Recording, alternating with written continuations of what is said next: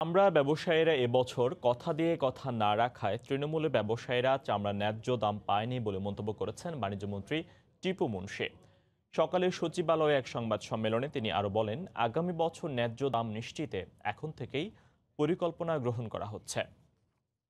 মূল কথা তাদের সেই সদিচ্ছাই নাই ওই কারণ আমরা বারবার একটা কথা বলেছি যে এই চামড়া আমাদের মূলত এতিমখানা, মসজিদ, মাদ্রাসায় মানব চ্যারিটিতেই যায়।